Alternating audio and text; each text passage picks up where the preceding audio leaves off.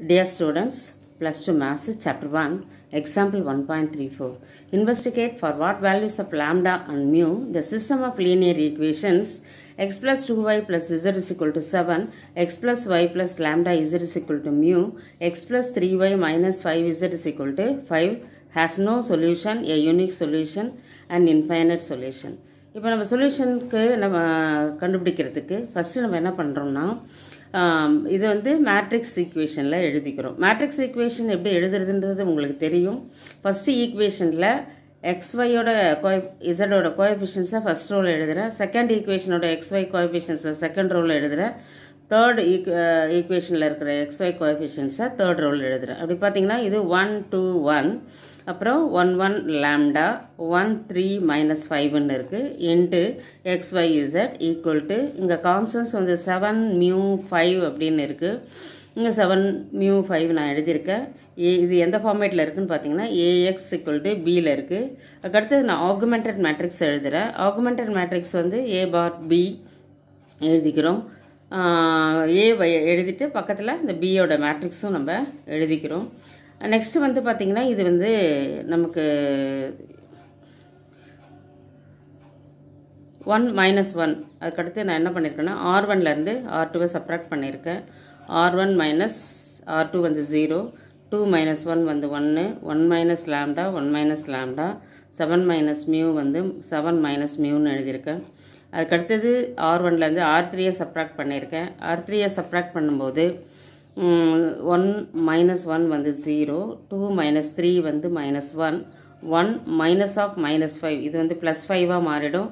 அப்போ one plus five வந்து six இப்போ செவன் மைனஸ் ஃபைவ் வந்து டூ இங்கே R two gives R one minus R two R three gives R one minus R three next ஸ்டெப்பில் நான் என்ன பண்ணியிருக்கேன்னா இந்த லேம்டாவை வந்து செகண்ட் ரோவில் இருக்குது அது வந்து நான் ஃபஸ்ட் ரோ தேர்ட் ரோக்கு மாற்றிடுறேன் தேர்ட் மாற்றும் மாற்றும்போது நான் இதை வந்து என்ன பண்ணுறேன்னா இதை எடுத்துகிட்டு வந்து இங்கே எழுதிட்டேன். அதே போல் இது வந்து இந்த பிளேஸுக்கு போயிடுச்சு. இப்போ ஒன் டூ ஒன் செவன் இங்கே வந்து இப்போ நான் என்ன பண்ணியிருக்கேன்? தேர்ட் ரோவில் இருக்கிறத இங்கே எழுதியிருக்கேன். Zero minus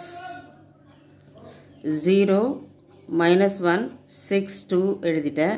அதுக்கப்புறம் செகண்ட் ரோவில் இருக்கிறத தேர்ட் ரோவில் எழுதியிருக்கேன். Zero one one minus lambda zero one one minus lambda seven minus four அதாவது ஆர் டூவையும் ஆர் த்ரீயையும் இன்டர்சேஞ்ச் பண்ணியிருக்கேன் அவ்வளோதான் நெக்ஸ்ட் ஸ்டெப்பில் நம்ம என்ன ப பண்ணுறோன்னா இங்கே வந்து நமக்கு ஜீரோ வரணும். ஜீரோ வர்றதுனால நம்ம இது ரெண்டு ரோவையும் ஆட் பண்ண போகிறோம் ரெண்டு ரோவையும் ஆட் பண்ணோம்னா zero plus zero zero minus one plus one வந்து zero six plus one minus lambda six plus ஒன்னும் போது செவன் அது மைனஸ் லேம்டா வந்துடும் அதுக்கு அடுத்தது two plus seven minus mu two plus செவன்னா ரெண்டுத்தையும் ஆட் பண்ணோம்னா நைன் நைன் மைனஸ் மியூ அப்படியே வந்துடும் இதை வந்து நம்ம அப்படியே வச்சுட்டு கூட போடலாம்.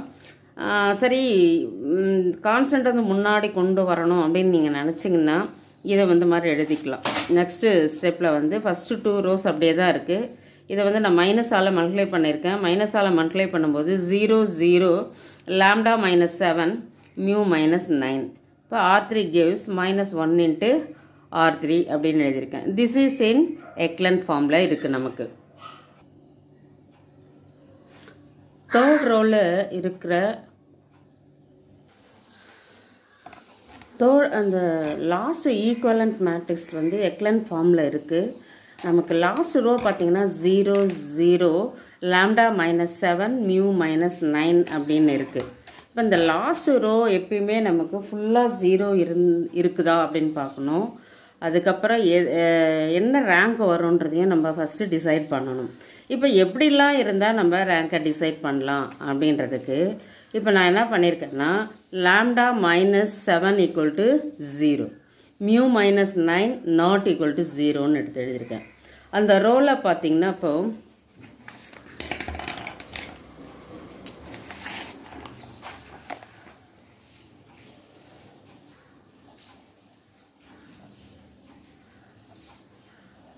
இதுதான் நமக்கு லாஸ்ட்டு எக்லன் ஃபார்ம் இது.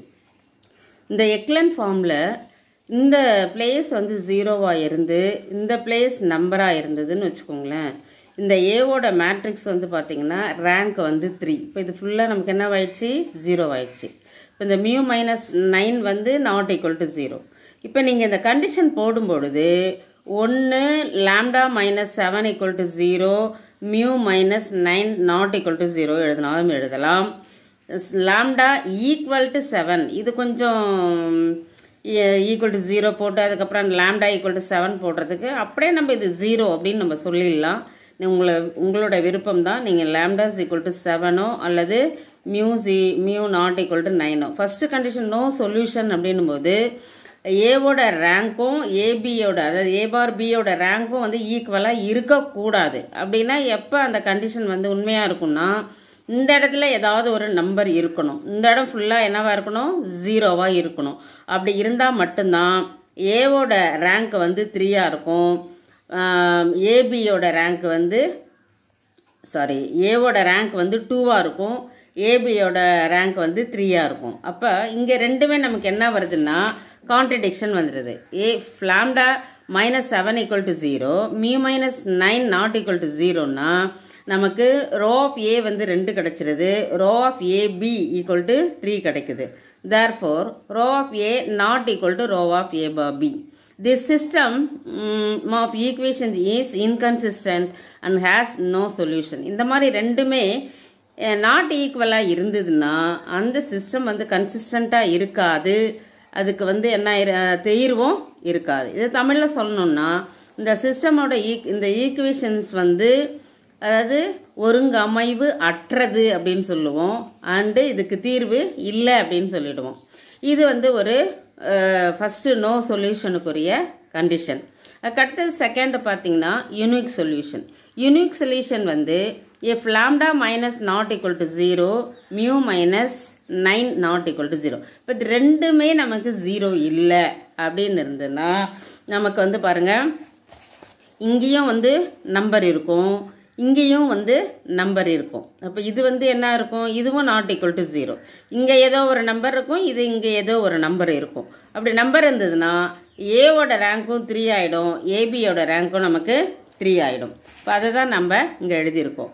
Rho of A equal to rho of A bar B is equal to three இந்த த்ரீன்றது நமக்கு ஈக்குவேஷனில் இருக்கிற அந்த அன்னோன்ஸை வந்து குறிக்கும். அதாவது எக்ஸ் ஒய் இசடை வந்து குறிக்கும்.